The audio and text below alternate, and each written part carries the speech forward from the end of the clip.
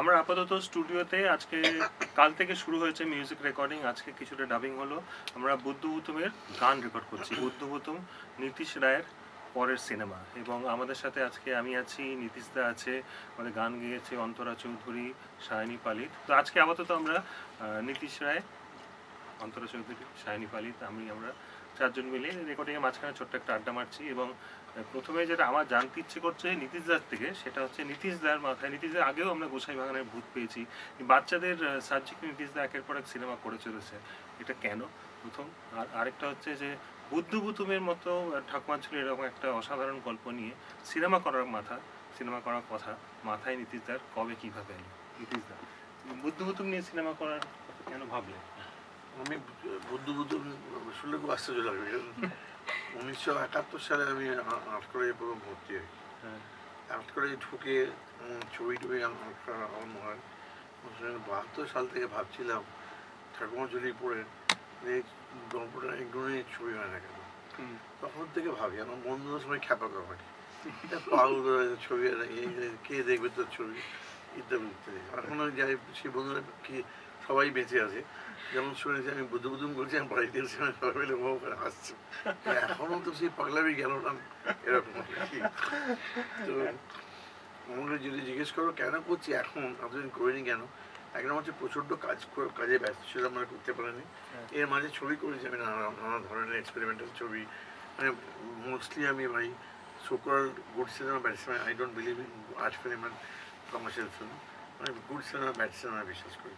আর সে করতে গিয়ে কমার্শিয়াল হয়ে গেছে গান ভালো লাগে গান ছবি ছবিতে দেখি। যেরকম হয় আর কি। আমার আর্ট ফিল্ম করতে গেলে গান বাদ দিতে হয় এটা বাদ দিতে হয় ওটা বাদ দিতে হয়। আমার ভালো লাগে আমি কী করব? ছবি আমার মতো করি। আলাদা আলাদা লোকে নিতে ছবি করে কেন? এই আহ, মধ্যে প্রচুর আর্ট থাকবে এই থাকবে সেই থাকবে। মানে সে হয়ে ওঠে না।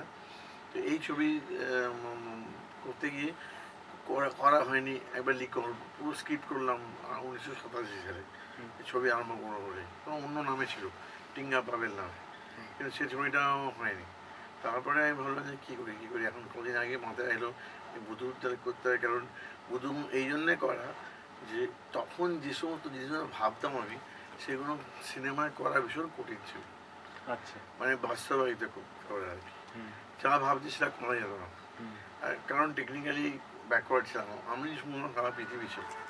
এখন পৃথিবীর লোকরা অনেক আগে- এগিয়ে গেছে। তুমি দেখো Lord of the Rings Alice in the Wonderland তারপরে হ্যারি পটার এ ধরনের ছবি যে ছবি যা ইচ্ছে তাই করে। হবিটে এক গাদা ফিরে গেছে। হ্যাঁ। মানে যা ইচ্ছে তাই করতে পারে। হুম। মানে আমরা তো মানে গল্পের ভান্ডার হুম। এদেশে মহাভারত আছে রামায়ণ আছে রামায়ণের মধ্যে হাজারটা গল্প মহাভারতের মধ্যে হাজারটা গল্প। কত কাল্পনিক গল্প কত কি? তার মধ্যে সব থেকে বড় গল্প হচ্ছে আমাদের ঠাকুমার ছবি এটা ছোটো থেকে শুনে শুনে আমরা বড় হয়েছি। তার মধ্যে বুড়ো বাংলা আছে, এ আছে, সুকুমার আছে। মানে ভাবতে বুঝলি এই কি অপরাধ করছি মানে কেমন করে এখন জেলেরা স্টার্ট কোথা থেকে স্টার্ট করি, চলো। পুরোনো ছোটোবেলায় ভাবলাম যেটা সে বুদ্ধ বুদ্ধ থেকে স্টার্ট করি। এবং আমি সেভাবে ভেবেছি, এবং এই গল্পটা যখন ভেবেছি তখন আজকের দিনে ভেবেছি, যেন আজকের দিনের মতো করে চিন্তা ভাবনা করেছি কারণ আজকের দিনের ছেলেরা কিন্তু আমাদের জেনারেশন পড়েছে আমার বাবারা পড়েছে আমার পরের জেনারেশন পড়েছে আমার দশ বছর আগের জেনারেশনও কিন্তু বুদ্ধ পড়েছে। খ্রিস্টান জেনারেশন কিন্তু কিন্তু ওই ঠাকুমা জয়ের বইটাকে আর সেই যেরকমভাবে আমার দাদু পড়েছিল আমার বাবা পড়েছিলেন আমি পড়েছিলাম সেই বাইন্ডিং সেই প্রিন্টিং আছে। তা একটা এই করে কিছু হয়নি আজকে ছেলেমেয়ে কিন্তু ওই গল্পগুলো মানে পড়বে তাই স্যার? হ্যাঁ সেই জন্যে আমি ভাবলাম যে নতুন এই গল্পটা প্রথমে যে গল্পটা দেখেছেন সেই গল্পটা যে নতুন মোড়কে দেওয়া যায়। নতুন মোড়ক বলতে কি? যে ছেলেরা আজকে ছবি দেখে তারা কিন্তু বুদ্ধ বুদ্ধ ছাড়া ইয়ে কি তারা ইয়ে অফ দ্য রিংস দেখে। তারা হ্যারি পটার দেখে তারা হবিট দেখে তারা জিম কাটার দেখে। এইসব ছবির যে চেহারা তাদের লোকজন তাদের আক্রোশ কক্ষোশ তাদের দেবতা তাদের গান বাজনা মিউজিক তাদের জামা কাপড় সব পাল্টে গেছে। সেই আমি যখন জামা কাপড়ের ড্রয়িং করছি আমার ইউনিটের লোকেরা আমাকে বলছে এইটা কী করছে তাহলে এরকম তো হয় না। না হয় না তো আমার কাছে আমার ছেলে বাচ্চা ছেলেটা সে বলবে আমার মা এই স্কার্টটা পরতো। হ্যাঁ। আমি তাকে দেখো সে কাঠেই আশপাশ দিয়ে যাবে এমন ডিজাইন আমার করতে হবে। সেটা দেখে সে রেকগনাইজ করতে পারে যে আজকে আমার মামা পড়তে পারে। অতএব এই লোক এই এই দিদির মাঝে অ্যাক্টিং করতে ছবিটা সেও পড়তে পারে তবে সে রিজেম্বলেন্সটা পাবে না? হ্যাঁ। তারপরে আমার মনে হলো যেমন ধরো যুদ্ধ বিগ্রহ। আজকে যুদ্ধ বিগ্রহ যেভাবে দেখছে লোকে হ্যারি পটার ফ্যারি পটার বা পাইরেটস অফ দ্য ক্যারিবিয়ানে। সেই যুদ্ধ যদি দেখাতে না পারি আমার ছবিতে তার ছবিতে পারবেন কেউ আমার ছবিতে পাঁচটা যুদ্ধ চারটে যুদ্ধ আছে। ধরো সাত- আট মিনিট যুদ্ধ। হুম। গানে আমার মনে হলো গান সাউন্ড পুরো তুমি তো নিজের মিউজিকের লোক তুমি জানো। প্রত্যেক দু বছর অন্য সাউন্ড পাল্টে যায়। মানে সেই পুরোনো দিনের সেই গান যদি আজকে আমি চালিয়ে লোকে গাইছে বটে সবসময় আমি আমার মাথার মধ্যে একটাই প্রশ্ন যখন আমি গাড়ি করে যাই বা কারোর বাড়ি যাই বা পাড়ার মো- মোড়ে বসে থাকি তখন কিন্তু বাজে সেই পুরোনো কিশোর কুমারের গান। হুম। বা সলিল দেওয়ার সুর করা গান। বা হেমন্ত মুখার্জির গান করা গান। কিন্তু যখন সে সিনেমাতে যায় তখন কিন্তু সে বলে এই গানটা পুরোনো হয়ে গেছে। এই গানটা চলবে না সে ভীষণ ডিফিকাল্ট মানে কী করব বুঝে বুঝে উঠতে তখন আমি ভাবলাম যে তাহলে কী করে যায়? আমার আ- ইদানিং কালে আমার তো সুরজিৎ তোমার গান খুব ভালো লাগে। আমরা সুরজিৎকে দিয়ে এই ছবিটা গানটা করবে কেমন। কোনো একমাত্র লোক যে গ্রাম বাংলা জানে ফোক জানে মানে আধুনিক যুগের ছেলে, আধুনিকভাবে মিউজিক কম্পোজ করে বাই নট সুরজিৎ? সেই ভেবে কিন্তু গানে এসছি আমার। সেখানে গানটা তুমি দেবে খুব রিলেভেন্ট তুমি সুর করেছ, এই সুর কিন্তু লোকে ভালো লাগবে। এই কারণে ভালো লাগবে আজকের গানটা।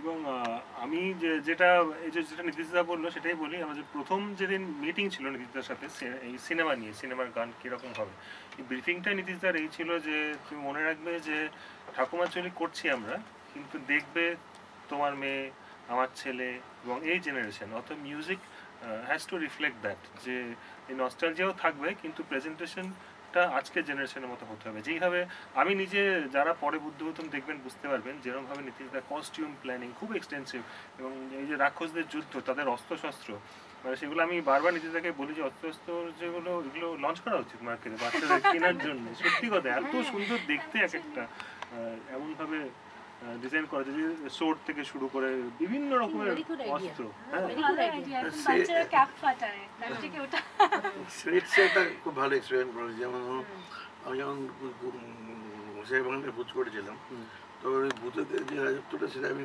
ভার্চুয়াল রিয়েলিটি সেটে করেছিলাম। সেট ছিল না পুরোটা গ্রিন কমে শুটিং করা পরে সেটটা আমি থ্রিডিতে বানিয়ে বসেছিলাম। সেটা দিয়ে কেউ আমাদের দেশের সাংবাদিকরা তো ওদিকে দেখেন না গালাগাল কী করে নিজেকে দেওয়া যায় সেটা ভাবতাম না। এই যে করলাম সেটা একটু এক ফোনটা জিজ্ঞাসা করে নিলে কেমন আমার তাতে কি এসে যাচ্ছে না। এবার আমি যে ছবিতে তুমি সেট দেখবে। অন্তর্ভুক্ত ছবিতে ধরো এক ঘণ্টা পঞ্চাশ মিনিটের ছবি। তার মধ্যে এক ঘণ্টা তিরিশ মিনিট তুমি সেটের সেট দেখতে পাবে ছবির মধ্যে। কোনো না কোনো সেট ইন্টেরিয়ার আমি বলছি। এটা কিন্তু টোটালি আমার ভার্চুয়ালিটি এবার আমি যে শুটিং করছি আমার ক্যামেরাম্যান আমার অ্যাসিস্ট্যান্টস তার সবাই কিন্তু ওরকম জিজ্ঞেস করে যে কী হচ্ছে ব্যাপারটা বুঝতে পারছি না। ঘটনা হচ্ছে পুরোটা প্ল্যান আমার হাতে একটা প্ল্যান আছে সেই এই লোকটা এখান দিয়ে হেঁটে এসো এখানে দাঁড়িয়ে ঘুরো এটা কি দরজা ক্রস করে তুমি আরেকটা ঘরে ঢুকলে। জানে না দরজা নেই জামা নেই কিচ্ছু নেই পুরোটা ভার্চুয়াল রিয়েলিটি হ্যাঁ। পরে আমি সেগুলো সমস্ত কম্পিউটারে বসাবো এই সেটের ডিজাইন কিন্তু এখনও পর্যন্ত ইন্ডিয়াতে কেউ করে এবং আমি এই ছবিতে যে সেটের ডিজাইনিং করেছি সেটা যদিও কিচ্ছু এসে যায় না কারও কারণ যদিও ছবিটা পৌরাণিক ছবি নয় এটা একটা কল্পনার ছবি। কল্পনা কাল্পনিক fantasy, হ্যাঁ। ফ্যান্টাসির ছবি। কিন্তু আমার ছবিতে দুটো রাজ্য আছে। একটা রাজ্য হচ্ছে এক দেশের বহির্দরিয়া মনে হয় জায়গা আর এটা হচ্ছে বিরাটগড় একটা জায়গা। দুটো রাজ্যের মধ্যে একটা রাজ্য কিন্তু পুরো ডিজাইন করেছে কিন্তু আমি একদম সেই two hundred fifty six BC মানে যখন আমাদের চন্দ্রগুপ্ত মৌর্য চাণক্য পিরিয়ডের সময় আমার মনের মধ্যে খুব ছিল চন্দ্রগুপ্ত চাণক্য সেটটা আমি লাগিয়ে ভোট করেছিলাম এই ইয়ের সেটটা। সিরিয়ালের। তখন আমি যে যেভাবে ভেবেছিলাম সেটা পুরোটা করে উঠতে পারিনি। এই জন্য পারিনি যে পুরো জিনিসটা করতে গেলে যে খরচা লাগে সে খরচা পুরোটা দিতে পারিনি। অর্ধেক অবস্থায় ছিল মাথায়। এখানে আমি অন পেপার হুম, পুরোটা আমি যেভাবে ভেবেছিলাম এক্স্যাক্টলি বা যেটা হওয়া উচিত। কারণ ওই সেটটা কিন্তু এই জুলজিক্যাল সার্ভে অফ ইন্ডিয়ার ডেটা জেনা থেকে অ্যাপ্রুভ করানো সেই ড্রয়িংগুলো সব বার করে আমার নতুন করে আমি তো যে সেট দেখবে ছবিতে এখানে কিন্তু টু ফিফটি সিক্স বিসির অরিজিনাল সেটস মানে সেই সেট কিন্তু ইন্ডিয়ার গভর্নমেন্টের কাছে রেখে দেওয়া উচিত। এরকম এরকমটা ছিল আমাদের দেশ। মানে পাটনা বলো এসব জায়গাগুলো এরকমই ছিল। অন্য যে রাজ্য- রাজ্যটা সেটা আমি ডিজাইন করেছি কীরকম জানো? গ্রেগো ইন্ডিয়া মানে গ্রিকরা এসে আমাদের দেশের ইয়ে নিয়ে নিল আমাদের কী বলে ওই বিখ্যাত লোক আলেকজান্ডার। হুম, যেমন নিয়ে নিল সেলুকাসকে দিয়ে তো উনি চলে গেছিলেন। সেলুকাস কিন্তু এখানে পঞ্চাশ বছর করেছিলেন হুম, এই পঞ্চাশ বছরে কিন্তু সেলুকাস পুরো ইন্ডিয়ার ওই জায়গাটাকে চেঞ্জ করে দিয়েছে। অর্ধেকটা গ্রিক অর্ধেকটা ইন্ডিয়ান স্টাইলে বাড়ি বানিয়েছিলেন। জন্য আর্কিটেকচার গ্রিগো ইন্ডিয়ান আর্কিটেকচার সেই আর্কিটেকচার গান্ধার ছিল। গান্ধার থেকে নাম জানো? গান্ধারের ডিজাইনে আর বাকিটা সেট করা। আর এটাতে কে কি বুঝে না বললে কি দুটো আলাদা দেশটা কমপ্লিটলি পাওয়া যাবে। One is India one is Gandhara Gandhara আর কি। তো এইটাতে কারোর কিছু এসে যায় না। কিন্তু ঘটনা হচ্ছে যেটা এসে যায় যে একটা নতুন জিনিস তো দেখাতে পারলাম ওই লোককে। একটা এরা কি একদমই তাই। এবং আমি বলছি যে, আমি এই সেটের কিছু ড্রয়িং দেখেছি, অসাধারণ সেগুলো। কিন্তু আমি নিজেও বসে আছি যে, কবে সত্যি পর্দায় দেখব। আমি নীতিশদাকে বারবারই বলি যে, কিছু মনে হলো নীতিশদার অফিসে যেখানে গ্রাফিক্সের কাজ হয় নীতিশদার অফিসে সারাক্ষণ, সেখানে এই কিছুদিন পর থেকে যেতে শুরু করব দেখতে যে কি ধরনের সেট হচ্ছে। কারণ এই সিনেমা আমার মনে হয় আরেকটা বিরাট বড় চ্যালেঞ্জিং কাজ আসতে শুরু করে, আসবে আর কি, যেটা হচ্ছে এই ছবির আবহ সংগীত, যেটা আমার আরও করার জন্য আমি মানে নিষ্পিস করছে আর কি মনে হয়। আমাদের এই সিনেমায় যারা গান করেছে, তার মধ্যে আমি বললাম আজকে লোপা অ্যাবসেন্ট, কিন্তু অন্তরা চৌধুরী প্রেজেন্ট আর শাইনি পালিত দুজনই আর যেহেতু আমি মিউজিক ডিরেক্টর এটা জিজ্ঞেস করা খুব মুশকিল আমার যে গান কেমন লাগল।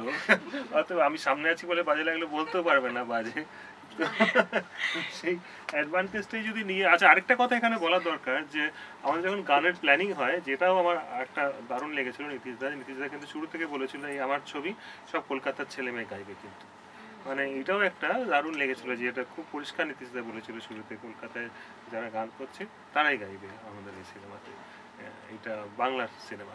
তো আমি এখানে সায়নি আছে আহ, সায়নির সাথে আমি কি জিজ্ঞেস করব বুঝতে পারছি না। গান কেমন গাইতে লাগলে আমি জিজ্ঞেস করলাম আমাকে তুমি বলতে পারবে না শরীরটা খুব বাজে লেগেছে তো বলতে পারবে না। মানে সেটা না কিন্তু আমি সত্যি সত্যি বলতে চাই আমি অডিয়েন্সের জন্য যে গানগুলো আমি তো চুপি চুপি বাকিদের গানগুলো শুনে ফেলেছি। তো এবং আমি একটু মানে দাবি করে বলতে পারি আমি টু শিওর অ্যাবাউট ইট কি প্রত্যেকটা গান ইজ ভেরি ক্যাচি মানে এই গানগুলো একবার যদি আপনি শোনেন আপনি গুনগুন করবেন। এবং আরেকটা ইন্টারেস্টিং ব্যাপার যেটা আমার লেগেছে প্রত্যেকটা গান ডিফারেন্ট জনারের হয়েছে। মানে বিভিন্ন সিচুয়েশনে বিভিন্ন জনারকে কেন্দ্র করে এক একটা টিউন হয়েছে বাট প্রত্যেকটা টিউনের মধ্যে কমন ফ্যাক্টর হচ্ছে যে গানটা একটা ক্যাচি একটা কি লাইন আছে যেটা আপনাকে খুব অ্যাট্রাক্ট করবে। তো আমার মনে হয় যে একটা সুর মানে মানুষের মনে বসার জন্য কি লাইনটা খুব দরকার সেটা সুরজিৎ দা ফাটাফাটিভাবে করেছে। আমি আমার গানটা গাওয়ার সময় ভীষণ এনজয় করেছি বিকজ আমি যুদ্ধের গান কখনো এর আগে গাইনি। আর অন্তরাদির গানটা তো আমি কখন থেকে গুনগুন করছি এবং বাড়িতে গিয়েও করব আমি শিওর দুটো সিচুয়েশন যেটা সায়নে যে গানটা গেয়েছে সেটাও সেটাও দারুণ একটা সিচুয়েশন মানে যেখানে একটি মেয়ে ম্যাজিশিয়ান সে গান করছে। সে গান করছে, এবার ম্যাজিক কার্পেট উড়ে উড়ে কিন্তু। এবং সেই যেখানে গান করছে, সেখানে সমস্ত সেটা রাক্ষস এবং রাজা সবাই সেখানে সেখানে বিরাট ভোজসভা চলছে। এবার সেই গানের মধ্যে একটা ষড়যন্ত্র হচ্ছে আর কি, যেটা বড় রানী একটা ষড়যন্ত্র করছে। এই সব মিলে আর কি ভীষণ নাটকের একটা গান আর কি। আর অন্তরা চৌধুরী অন্তরা চৌধুরী আবার নীতিশদার মানে শৈল চৌধুরী নীতিশদার খুব কাছের মানুষ ছিলেন এবং আমার খুব ভালোবাসতেন হ্যাঁ। ইনফ্যাক্ট আমি যেটা তোমায় বলছেন থ্যাংক ইউ সো মাচ আমাকে এই অপরচুনিটি দেওয়ার জন্য। দাদার ছবিতে আমি একটা কাজ করলাম এটা আমার জন্য একটা বিরাট অনার তোমাকে আমি অনেক দিন ধরে বলছি আমার একটা গান দাও গান দাও গান দাও। তোমার গান আমার খুব ভালো লাগে। মানে তোমার সাথে যখনই আমার আলাপ হয়েছে বা তোমার গান যখনই শুনি তোমার গানের মধ্যে যেটা সামান্য বলছিল না একটা ক্যাচি ব্যাপার আছে যেটা মেলোডিটা আস্তে আস্তে গ্রো করে ভিতরে। আমি তোমার অনেক গান মাঝে মাঝে যখন গুনগুন করি বলি এটা তো সুরজিতের গান। তো ইউনো ইনফ্যাক্ট এই ঠাম্মার যে ক্যারেক্টারের যে গানটা তুমি আমার জন্য দিয়েছ যেটা দাদা ভেবেছেন আমার গলায় ভালো হবে। সত্যি মানে গানটা গাইতে গিয়ে তুমি তোমার কাছ থেকে আরও কিছু শিখলাম যে নাটকীয় ব্যাপারটা আর আরও কীভাবে মানে তোমার গাওয়ার স্টাইলটা ডিফারেন্ট ফ্রম আমার স্কুলিং হুম, আমরা অনেক বেশি ছোট ছোট কাজ দিই বা ইউনো এম্বেলিশমেন্ট যেগুলো দিই। তুমি বলো না আর অন্তত একটু স্ট্রেট গাও স্ট্রেট গাও। ইনফ্যাক্ট এটা একটা নতুন মানে স্টাইল অফ সিঙ্গিং যেটা আই থিঙ্ক তোমার তুমি খুব ইজিলি গাও। সেটা আমি আজকে খুব ভালো লাগল আর গানটা খুব এনজয় করে গিয়েছি। তোমার পুরো অ্যারেঞ্জমেন্ট আমার খুব ভালো লেগেছে অ্যান্ড প্রত্যেকটা গান আমিও লুকিয়ে লুকিয়ে শুনে ফেলেছি। হ্যাঁ ওরই মতন। প্রত্যেকটা গান খুব ভালো লেগেছে। অ্যান্ড আই থিঙ্ক ছবির সাথে গানগুলো খুব ভালো যাবে। ইভেন আমিও তোমার সাথে স্টুডিওতে চলে আসব। স্পেশাল এফেক্টগুলো সব দেখব। গ্রাফিক্সগুলো সব দেখব। আসব। এবং এইখানে আমাদের আড্ডা আজকে শেষ করি। অন্তরের ব্যাপারে বলি যে অন্তরাকে আমরা ছোটবেলা থেকে চিনেছিলাম কোলা ব্যাঙের গান। মানে একেবারে যখন অন্তরা যখন অনেক সময় দুঃখ করে বলতো আমি বড় হয়ে গেলাম তাও লোকে আমাকে ওই গানগুলো গাইতে পারে। লোকে ভাবে যে এখনও হয়তো আমি ওইটুকুই আছি কোলা ব্যাঙের মতো। না, এইবার আমি যেটা গান দিয়েছি আমি অনেকটা বড় করে দিয়েছি। অন্তরকে ঠাকুমার গান দিয়েছি। আমাদের তাহলে আমাদের আপাতত এইটুকুই থাক। আমাদের এই আড্ডা কিন্তু চলবে। যতবারই আমাদের কাজকর্ম হবে কিছু হবে আড্ডা নিয়ে বারবার আসব। আমাদের সমস্ত বন্ধুদের কাছে। এই ভিডিওটাই শেষ নয়। বুদ্ধ বুতুম এবং আমার সমস্ত কর্মকাণ্ড নিয়ে সমস্ত আপডেট আপনারা আমাদের এই চ্যানেলে পাবেন। তাই সাবস্ক্রাইব করুন এক্ষুনি।